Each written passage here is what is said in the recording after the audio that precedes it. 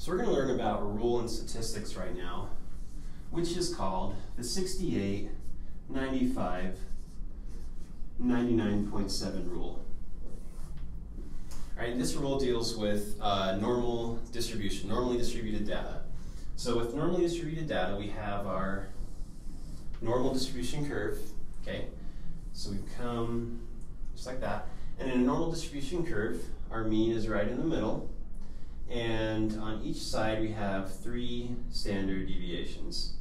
There's one, two, three.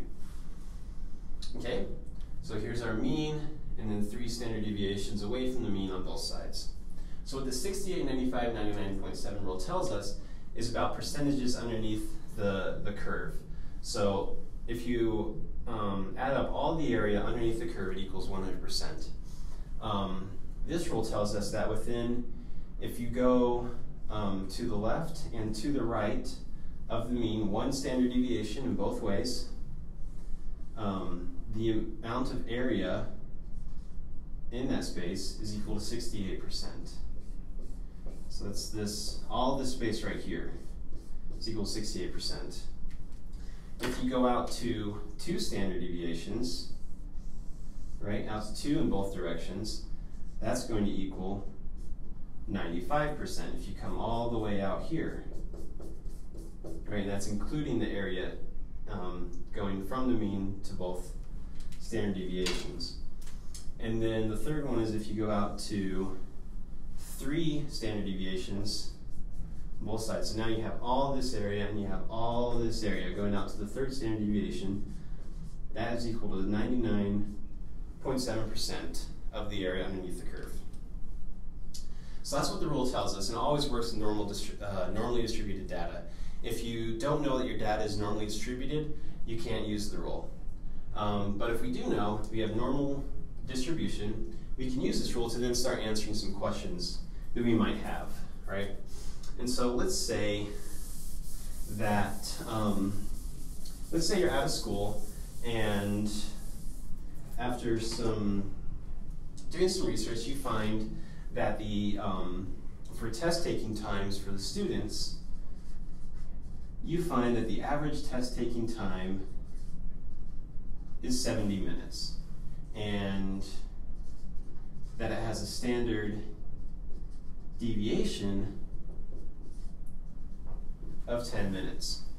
Okay, so we can draw our normal distribution curve. This is assuming that our data is normally distributed, of course. Um, so we draw our normal distribution curve. We put our mean right in the middle, like always. We're going to call that 70 minutes because that's our that's our average. That's the mean that we found. Um, and then at each standard deviation, we're going out 10 minutes. So going to the right, we're adding on 10 minutes. So first standard deviation is 80 minutes, then 90, then 100 minutes.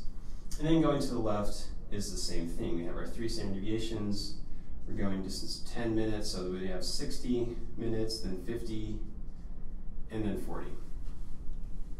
Right, and so, um, so 6895 9.7 rule is going to tell us that, um, for example, 95% of the students that take a test in this school are going to finish their test within 50 and 90 minutes, right? Because that's two standard deviations away from the mean both directions so 95% of the students that take the test are going to finish within 50 minutes and 90 minutes. So what if the question asked, what percent of students will finish under 50 minutes? Right? So if you're going to if you're to give a test, if the professor is going to give a test and he or she wants to know what percent of students will finish under 50 minutes, we can use the 6895 99.7 rule to answer that. And so we notice, so the question is asking 50 minutes, right? So 50 minutes, that is at the second, that is two standard deviations away from the mean, right?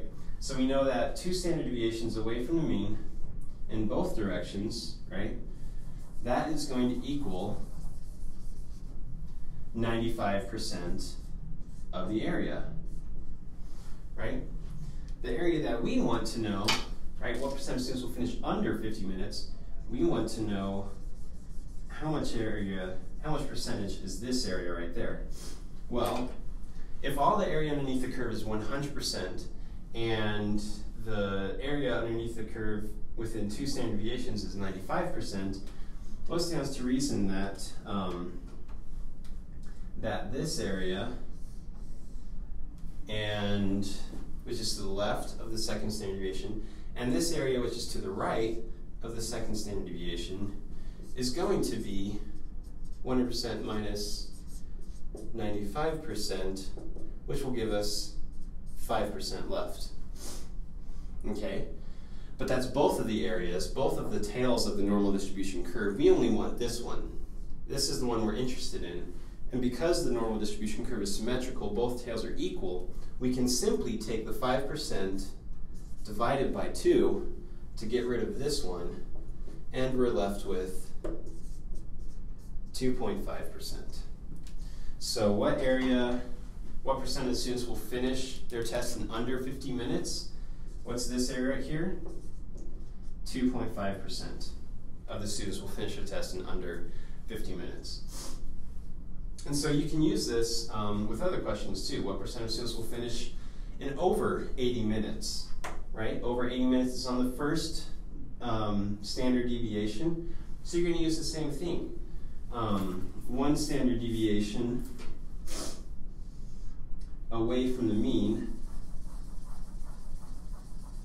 is 68% of the area. Well, if we want this area right here, right, and we know that this, we know that this area is 68%, then we can do the same exact thing. We can go 100% minus, not 80, 68%, and that will give us 32%. Again, we want to divide this by 2 because we don't want this, we don't want this area right here. We're just worried about this area right here. So we divide that by 2 and we get 16%. So 16% of the students will finish their test in over 80 minutes, right? So that's how you can use the 68, 95, 99.7 rule with normally distributed data to answer questions such as these.